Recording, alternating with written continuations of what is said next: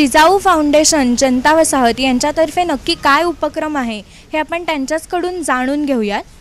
मला सांगाल तुमचा उपक्रम काय आहे ही वारी जी आहे त्याविषयी काय सांगाल कसली वारी आहे? ही ज्ञानाची वारी वंचितांच्या दारी जनता वसाहतमधली जी मुलं आहेत किंवा ज्या मुली आहेत ज्यांनी शाळा सोडून दिली अशा महिलांसाठी मुलींसाठी आणि शाळेत जाणाऱ्या मुली की ज्या क्लासला जाऊ शकत नाहीत पण शिक्षणाची आवड आहे अशा मुलींना जिजाऊ फाउंडेशनने दत्तक घेतलेलं आहे. आणि त्यालाच जोडून आम्ही त्यांच्यासाठी मार्गदर्शन वर्ग चालू करतो आहे गुरुपौर्णिमेला दर शनिवार रविवारी पाच ते सात या वेळेमध्ये. यात आपण सर्व विषय घेणार आहोत. आणि सगळ्यात महत्त्वाचं म्हणजे ही शिकवणी नाही. तर त्यांनी अभ्यास कसा करायचा याचं मार्गदर्शन आहे.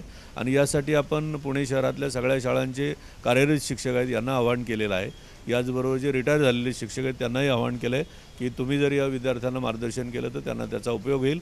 आणि शिक्षकांचे आपल्याला चांगले प्रतिसाद मिळाला आहे त्यांनाही आपण थोडंसं मानधन देणार आहोत.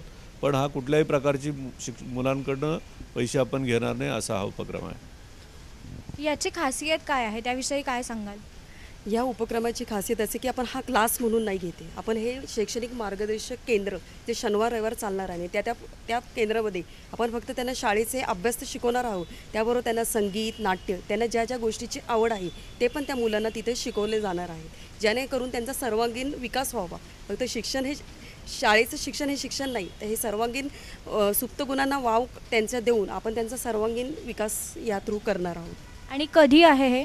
हा उपक्रम आपण सोळा तारखेला म्हणजे सोळा जुलै ज्या दिवशी गुरुपौर्णिमा आहे त्या दिवशी आपण हा उपक्रमाची ओपनिंग करत आहोत.